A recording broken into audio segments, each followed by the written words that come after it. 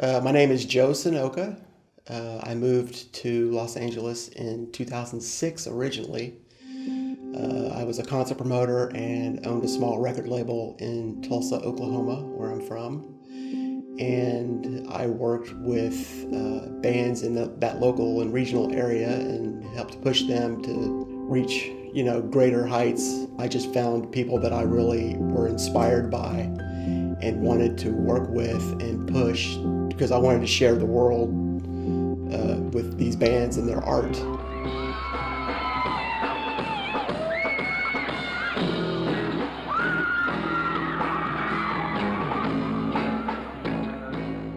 I got to a point in my life where I felt like I'd done everything I could possibly do in Tulsa, and a friend of mine named Justin Monroe was telling me about you know what he was doing out in Los Angeles with his film work and about music supervision, which was something that had always fascinated me. I was always interested in finding the right song for the perfect scene. Quickly realized that I might be good at playlists and curating songs and finding that perfect song for the scene, but I'm not a guy that's good at dealing with people's people. I transitioned over to uh, learning about Google and learning about analytics and how search engines work started working freelance for a few companies and did that for a while and then I died. 2016 December October of 2016 I got a call from my brother telling me that they were having a wedding reception in Milwaukee and he wanted me to come down and the family to come down you know celebrate getting married and everything and so I hung up the phone and I immediately started thinking you know I started thinking about my weight. At the time, I was 396 pounds. It's like, man, I've got to do something. I'm sleeping most of the day. I'm not. I'm not energetic. I'm not going out. There's days I don't even leave the house. This isn't good. This isn't healthy. It's not sustainable. So, um, I made the decision in October that I was going to get a vertical sleeve gastrectomy, which is a VSG. They basically reshape your stomach they said that I need to go on a two week liquid diet to get ready for the surgery. I needed to drop more weight before I go in for surgery. So I made the wedding reception my last supper. I lost 25 pounds before I went in for surgery. I went down and uh, had the surgery done. They told me to keep doing what I was doing for two more weeks. So I did. Kept drinking the muscle milk, kept drinking chicken broth, kept doing my thing. On the last day of the fourth week of this liquid diet, I died. Um, they say I died for 15 minutes, that they hit me with seven paddle blasts, and that I was technically brain dead.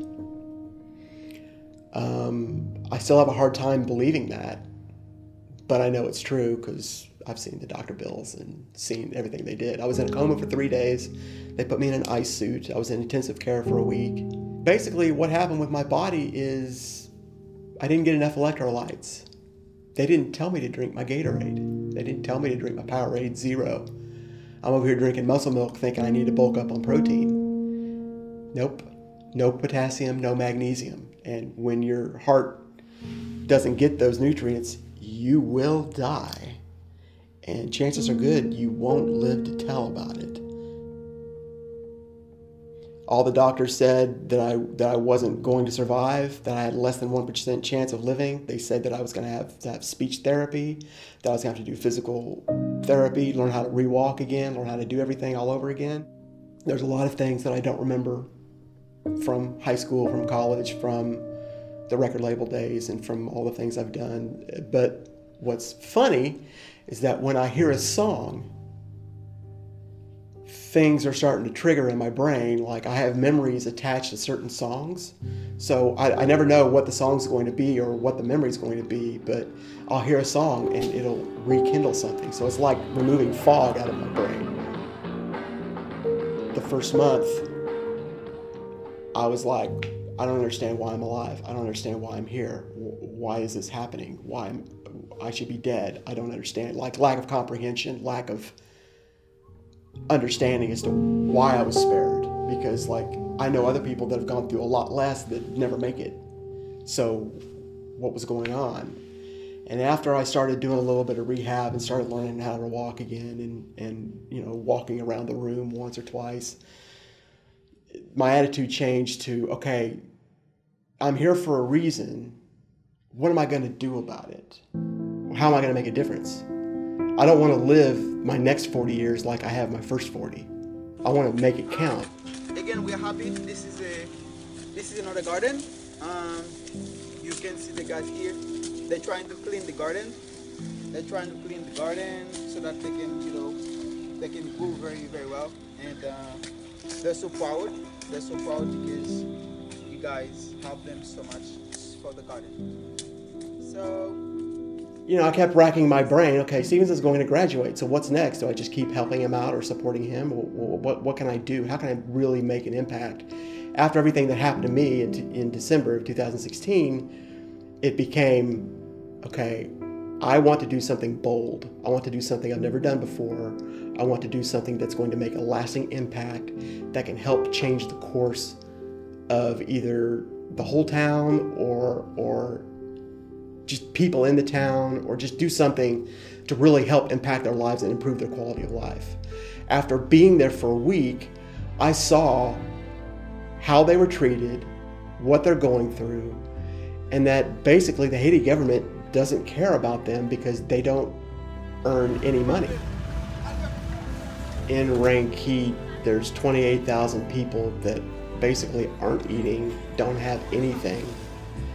And I would like to do things, starting with seeds, um, to change that, to maybe turn or transform that town into an agricultural town. Maybe it's a farming community. Maybe uh, it creates jobs and empowerment.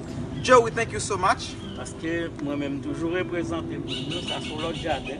Uh, this is garden, so he is the responsible. Welcome un jardin bien belle. You know, the gardens, the gardens are, you know, the garden is very beautiful. It's nice. Ça a toujours aidé moi. Ranquitte needs to take care of Ranquitte. If you take care of yourselves, other people will come to that. And it's easier said than done. I'm this armchair guy sitting over here in California. Oh, we could do this and we could do that. It's it's way harder. It's way more complex, and I totally get it. It doesn't have to be, you know, American Red Cross, or it doesn't have to be like these huge nonprofit organizations doing all of the work. Individuals can do little simple things to have a big impact on someone's life. I might not be changing the world globally. I'm just trying to change a few lives in a town I know nothing about. I just want to help people because it's in my heart to help people, and it's all, I've always been that way. And I've figured out a way to do it, and I'm going to do it as hard as I can for as long as I can. Everything else is up to God. I, I have no control over what happens. I can't control whether it rains. I can't control what happens down there. I can control whether they have seeds in their hand to put in the ground. And that, that's what I'm after. My name is Joe, and I'm a dreamer.